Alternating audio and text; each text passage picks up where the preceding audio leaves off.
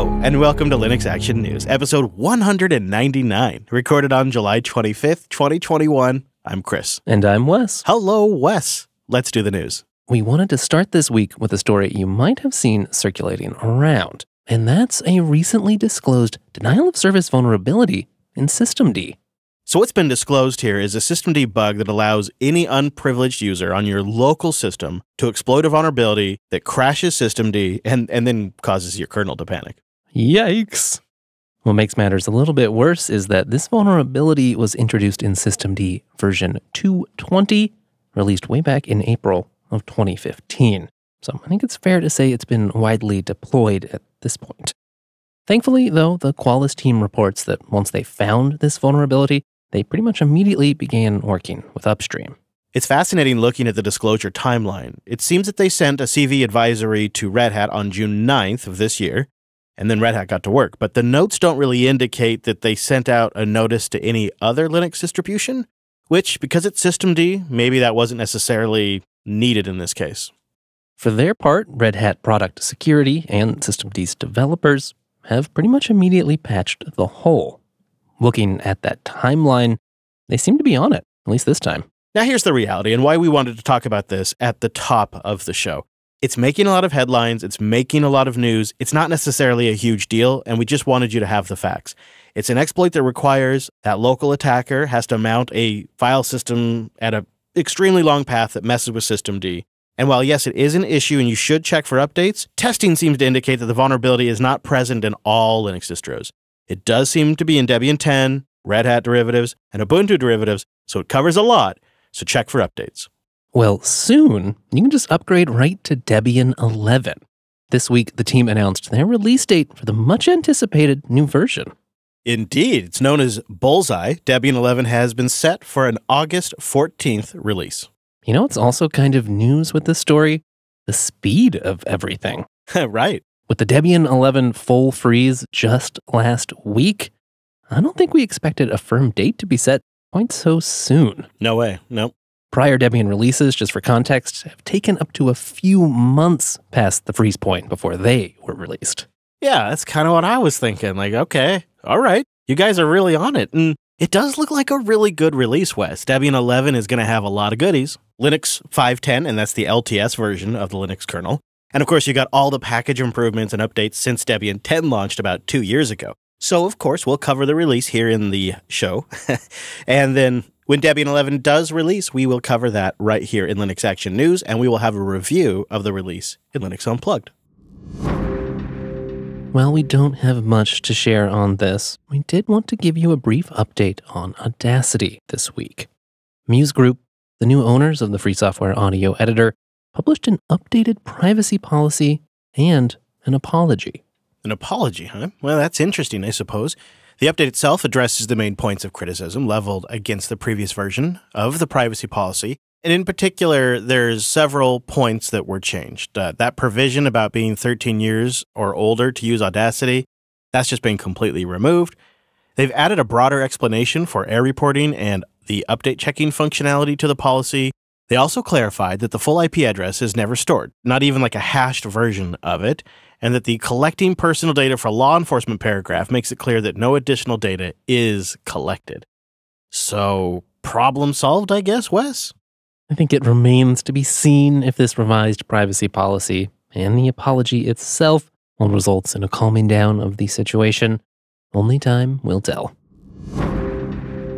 We have a couple of hardware stories this week. First up, some follow up on the Steam Deck from last week. We now know that all models feature socketed M.2 storage. Valve notes that it's not necessarily user accessible or replaceable, but I mean, you can't help but wonder how long until some user out there buys the lowest tier storage deck and puts like two terabytes of storage or some crazy amount of storage in there. It seems like it's going to happen. Stop putting ideas in my head, you.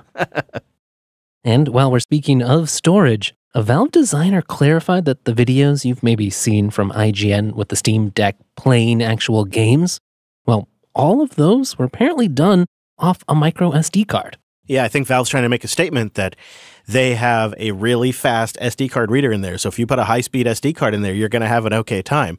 And you think about that. That's like demoing it to the press for the first time, and they were okay running it off an SD card.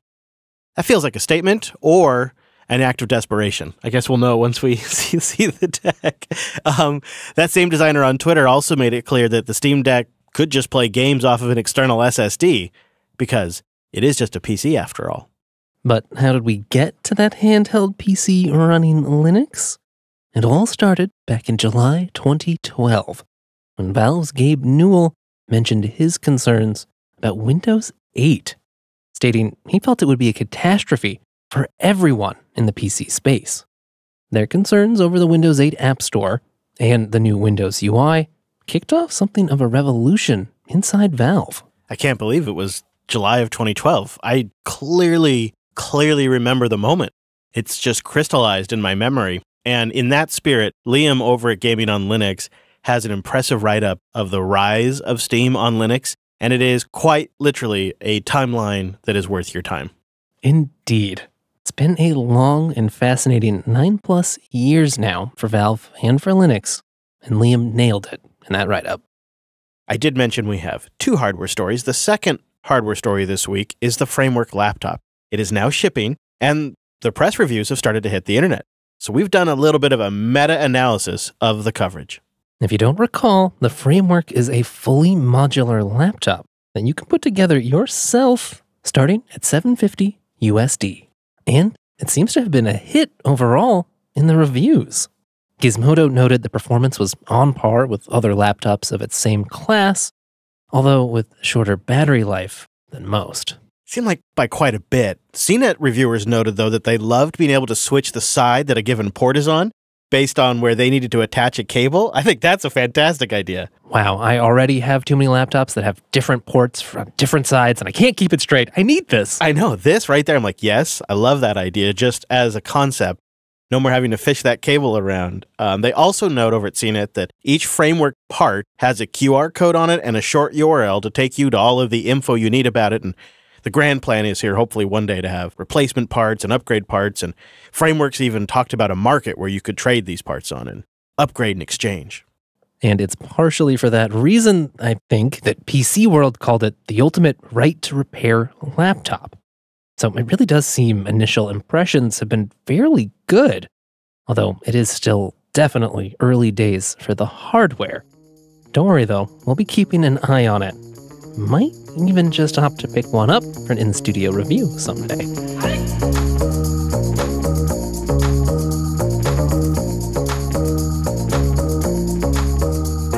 Linode.com slash LAN. Go there to get $100 in 60 day credit towards a new account and go there to support the show.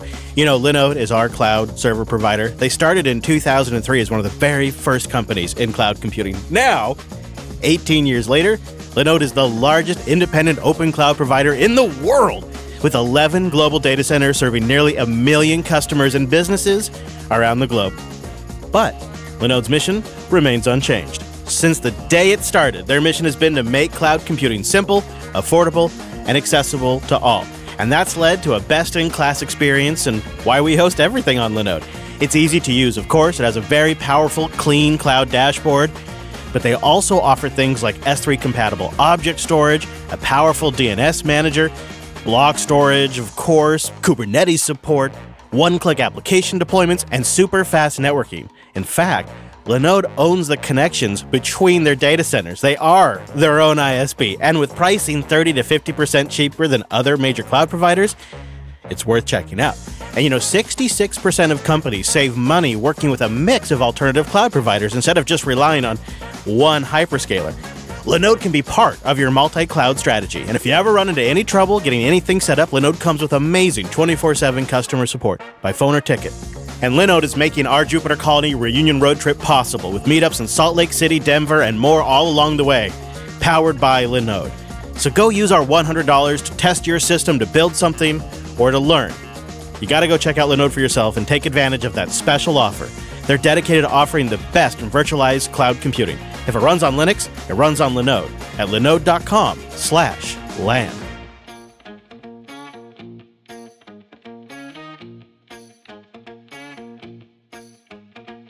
Linux.ting.com. If you're sick of overpaying for cell service, go see how much you could save and then take 25 off that at linux.ting.com. Ting is an MVNO, or a mobile virtual network operator, and what that really means is that Ting mobile customers get access to the big carrier networks, but with way better customer service at a lower cost. With Ting Mobile, you get the same coast to coast coverage as you would with the big guys, you just pay less. That's why I've been a Ting customer since 2013. Ting has stayed flexible and nimble with my various patterns of usage over the years, like no carrier could ever dream of. And Ting's plans are simple and straightforward, like their new Set 12 plan. 12 gigs of data, unlimited talk and text for 35 bucks a month. And if you follow Ting on Twitter at TingFTW, they're giving away $500 in gift cards for use at either Best Buy or Amazon. So go follow them at TingFTW for more details and get access to that. Now, if you need 2 gigs or 20 gigs or a lot more than that, Ting's got a perfect plan for you. Every plan gets access to Ting's award winning customer service with nationwide LTE and 5G coverage. But the best thing about Ting, never any contracts, no contracts, no contracts. It's simple to switch to Ting, too. Pretty much any phone will work. So just head to linux.ting.com. Check out your current phone, create an account, pick the plan that's right and for once you. everything is set, Ting will send you a SIM card. You pop that into your phone, you get activated in minutes. Cutting your phone bill in half has never been easier with Ting's brand new plans.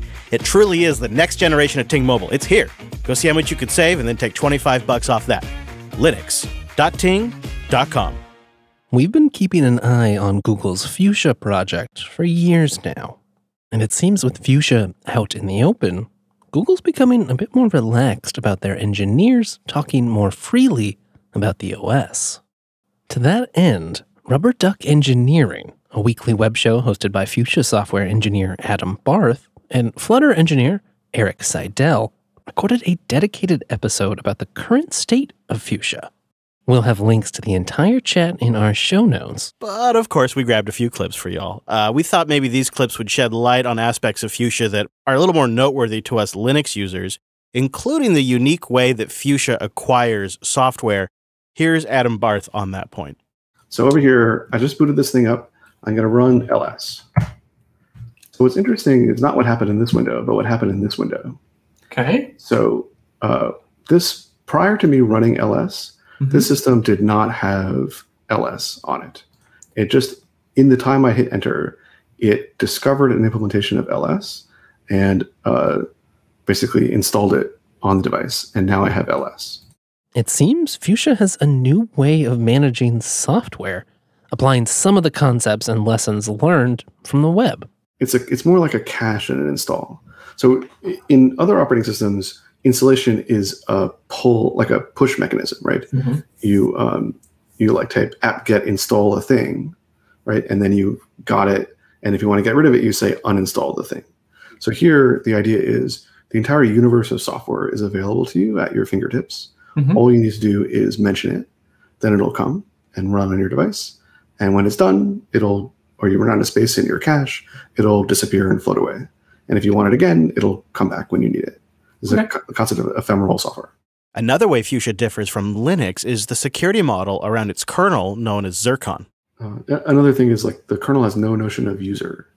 So in, in Windows, um, there's a very elaborate access control system where every object is associated with a security identifier and an access control list, and there's a thing.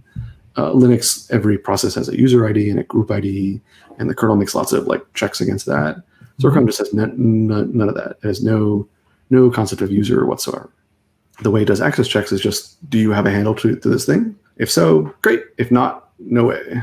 And never missing an opportunity to make it easy to bring your existing software stack to Fuchsia, Google has plumbed in Wayland support. We have a Wayland adapter, so we can uh, run software that knows how to speak to Wayland. But mm-hmm. it's not like we have a separate Wayland server running. That thing just knows how to tell Scenic what what the thing wanted to do in Wayland. And does that Wayland adapter run separate from Scenic? Mm-hmm. Yeah, so it it huh. it's just like a you sort of imagine it like a service oriented architecture. So it on one end it exposes Wayland, and then on the other end it just talks to Scenic, just like any other client talks to Scenic. And if Wayland support's not enough for you, it seems that porting your existing applications from Linux to Fuchsia could actually be very straightforward, especially if your application already runs on Windows. So the good rule of thumb is if the program knows how to run both on Linux and on Windows, then porting it to Fuchsia is relatively easy. If it uh, only knows how to run on Linux, then depending on what it's doing, it can be a little tricky. So we, we have a compatibility layer we call POSIX Lite, which contains the parts of POSIX that we think uh, don't uh, negatively impact security. And then we provide that interface on top of the underlying Fuchsia primitives. And our favorite moment from the stream when a live viewer asked if Fuchsia could one day replace desktop Linux. But I also think it's important to realize that people always want to look at these things in a, a, a zero sum fixed way. Like, is this going to replace X? Like, is this going to replace Linux on the desktop or whatever? And I, I think of it more in a in a um, there's like more to be had, right? If you have a system that's different than Linux, it's maybe different for other things, Mhm. and maybe there's new things that you could do with it that are either difficult to do with Linux or awkward, or you might benefit from a different application. And so, um, yeah, I think it's more more useful to think about like what are the new things that you can do with this that are that are possibly additive as opposed to replaceative. I think that really nails it right there. What are the new things that it could do additive? Because Fuchsia truly feels like a lessons learned project for Google. In the Skunk Works, the engineers wanted to build something that they learned a little bit from Linux, they learned a little bit from Windows, they learned from deploying software on the web, and they wanted to bring it all into one place. And notable how easy it is to move software over to Fuchsia. Yeah, that's a little bit surprising, but I guess you got to have something to run on there. Yeah, you need software, right? And get a little Wayland support, some basic POSIX support, and uh, you're pretty much good to go. We'll see where it goes. You never know, but there's so much going on every single week, and we try to distill it down for you in a very consumable way. So make sure you get every single episode by going to linuxactionnews.com slash subscribe for all the ways to get them new episodes. And linuxactionnews.com slash contact to let us know how we're doing. Hey, maybe share the show. If you know someone who works in IT and needs to stay up to date, send them a link to a recent episode that you really liked. Join us for meetups in Salt Lake City and Denver coming up soon. Meetup.com slash Jupiter Broadcasting. As for us, we'll be back next Monday with our weekly take on the latest Linux and open source news. Thanks for joining us, and we will see you next week.